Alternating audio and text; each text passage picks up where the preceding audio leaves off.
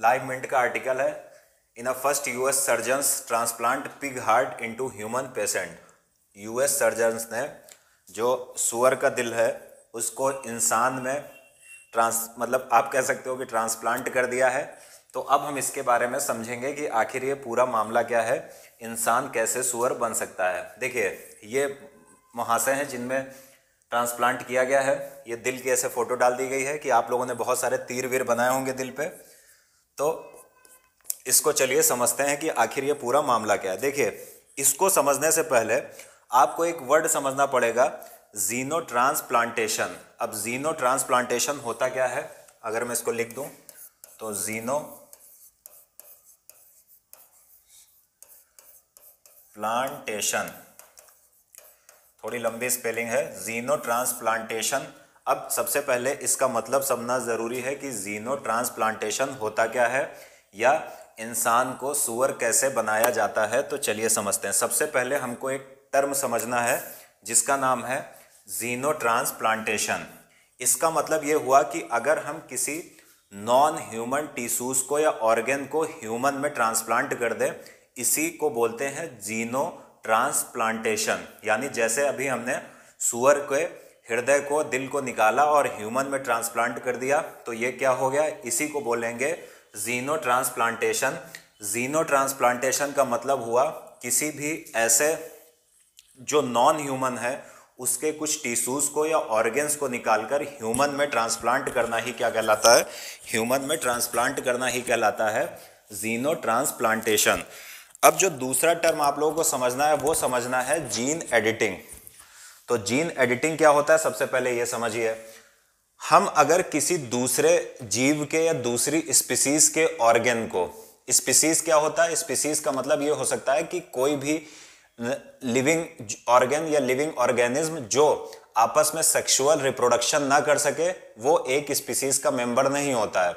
जो लोग भी आपस में सेक्सुअल रिप्रोडक्शन कर सकते हैं, वो एक स्पीसीज में शामिल होते हैं। जैसे अगर मैं कहूँ कि बंदर हो गया और चिंपैंजी हो गया और ह्यूमन हो गया। क्या ये लोग सेक्सुअल रिप्रोडक्शन कर सकते हैं? नहीं कर सकते हैं इसलिए इनकी स्पीसीज अलग है। तो यहाँ पर सबसे पहले आपको ये समझना ज़रूरी है कि जीन एडिटिंग क्या होता है। जीन एडिटिंग के माध्यम से हम किसी भी ऑर्गेनिज्म के डीएनए में अपनी इच्छा अनुसार कुछ परिवर्तन कर सकते हैं। फिर बता रहा हूँ जीन एडिटिंग क्या होता है कि टेक्नोलॉजी के माध्यम से हम किसी के डीएनए में ऑर्गेनिज्म के डीएनए में कुछ अपनी इच्छा अनुसार कुछ परिवर्तन कर सकते हैं। तो उम्मीद है कि जीनो ट्रांसप्लांटेशन और जीन एडिटिंग आप समझ पाए होंगे। अब हम देखेंगे कि ये हार्ट ट्रांसप्लांट कैसे किया गया है। ये जो सुअर का दिल था, वो इन महोदय के कैसे लगाया गया ट्रांसप्लांट किया गया। देखिए, सबसे पहले क्या होगा, इससे पहले जितने भी इस प्रकार के ट्रांसप्लांटेशन की न्यूज़ आती थी, सब में पता चलता था कि ये जो भी मामला था वो पूरी तरीके से असफल हो गया। आज तक ऐसा कोई भी सफल प्रयास नहीं हो पाया था। क्यों? क्योंकि जब भी इस प्रकार के किसी जीव का कुछ, किसी भी प्रकार का कोई ऑर्गन ह्यूमन में लगाया जाता था तो ह्यूमन का इम्यून सिस्टम रिजेक्शन देता था, जिसके कारण अंततः ह्यूमन की असफलता लगती थी। हाथ और कई बार देखा गया कि ह्यूमन की मृत्यु हो गई। जैसे केस आया था कि गुवाहाटी के एक डॉक्टर साहब थे, उन्होंने इसी प्रकार का कुछ काम किया था और बाद में इन्फेक्शन के कारण उस व्यक्ति की मृत्यु हो गई थी। तो समस्या क्या होती थी, ये समझिए। इसमें अगर मैं समस्या बताऊँ कि जैसे किसी दूसरे जीव के ऑर्गेन को इंसान में लगाया जाता था तो इसमें होता क्या था कि इसमें विशेष प्रकार की कोशिकाओं में सुगर पाया जाता है और जैसे ये ह्यूमन में लगाया जाता था, इंसान में लगाया जाता था तो इस सुगर के खिलाफ ह्यूमन बॉडी का जो इम्यून सिस्टम है, वो रिस्पॉन्स करता था और उसके कारण एक गुवाहाटी में एक व्यक्ति की मृत्यु हो गई थी। जिस डॉक्टर ने उसका, उसके ये ट्रांसप्लांटेशन किया था, उसको भी जेल हो गई थी। इसलिए अभी तक जितने इस प्रकार के जीवों से, मनुष्यों में जो भी ट्रांसप्लांटेशन होता था सुअर से, जो भी मनुष्यों में ट्रांसप्लांट हुआ था आज तक मामला कोई भी सफल नहीं हो पाया था। क्यों? क्योंकि ह्यूमन का इम्यून सिस्टम उसके खिलाफ रिस्पांस देता था और फिर इन्फेक्शन या किसी अन्य कारण से वो उस व्यक्ति की मृत्यु हो जाती थी। लेकिन पहली बार ऐसा हुआ है, इसलिए ज़्यादा न्यूज़ में है कि पहली बार ऐसा हुआ है कि ये व्यक्ति जो हैं, ये बच गए हैं, ये सुअर के दिल पर, या सुअर के दिल के हिसाब से आजकल ये काम कर रहे हैं। तो इसको अब हमको समझना है ये सफल मामला कैसे हुआ है। देखिए सुअर के हार्ट की जो सेल हैं, समस्या है उन सेल में मौजूद सुगर से, यानी सुगर से। क्यों? क्योंकि जैसे ही वो ऑर्गन ट्रांसप्लांट किया जाता है ह्यूमन में तो इस हार्ट में जो सेल होंगी, उसमें जो सुगर पाया जाता है, उनके खिलाफ हमारी बॉडी का जो इम्यून सिस्टम है, वो रिस्पॉन्स करेगा और फिर इन्फेक्शन और बहुत सारी समस्याएँ होंगी, जिसके कारण व्यक्ति की मृत्यु हो जाती थी।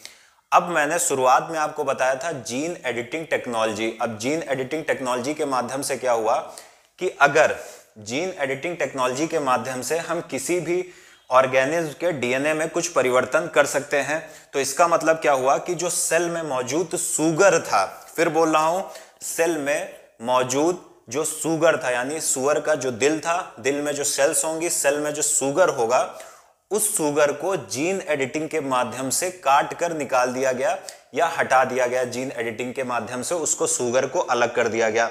अब इसका फ़ायदा क्या हुआ कि जब ये हार्ट इनमें लगाया गया तो ऑर्गेन जब गया तो सुगर था नहीं। हमारी बॉडी का जो रिस्पॉन्स सिस्टम था या हमारी बॉडी का जो इम्यून सिस्टम है, उसने रिस्पॉन्स किया नहीं और व्यक्ति अभी तक ये सेफ़ है तो ये भविष्य के लिए बहुत सारी संभावनाएँ छोड़ के जाता है। क्यों? क्योंकि हमको पता है कि भारत में, या भारत नहीं, पूरी दुनिया में बहुत सारे ऐसे ऑर्गेन्स की कमी पाई जाती है तो उस कमी को अगर ये सक्सेसफुल मामला रहा तो कई और जीवों से या सुअरों के माध्यम से इस प्रकार के ऑर्गेन्स की कमी को पूरा किया जा सकता है। लेकिन एक समस्या भी है। अब समस्या क्या है, ये समझिए कि जितने भी एनिमल राइट ऑर्गेनाइजेशन हैं, उन्होंने इसको अपोज किया है कि आप जानवरों की हत्या करोगे या जानवरों की जान लोगे? क्यों? क्योंकि किसी इंसान को बचाने के लिए तो ये एक अलग प्रकार का एक मामला है कि क्या ये उचित है कि किसी जीव का हार्ट निकाल कर किसी इंसान के लगा देना? और हो सकता है भविष्य में ज़्यादा इसके खिलाफ अगर आप देखोगे, ज़्यादा ही सक्सेसफुल हो तो हो सकता है बहुत सारे जीवों की हत्या भी की जाए इंसान को बचाने के लिए। तो इसलिए कई एनिमल राइट्स ऑर्गेनाइजेशन हैं या ग्रुप्स हैं, उन्होंने इसको अपोज किया है। तो उम्मीद है आप लोग समझ पाए होंगे।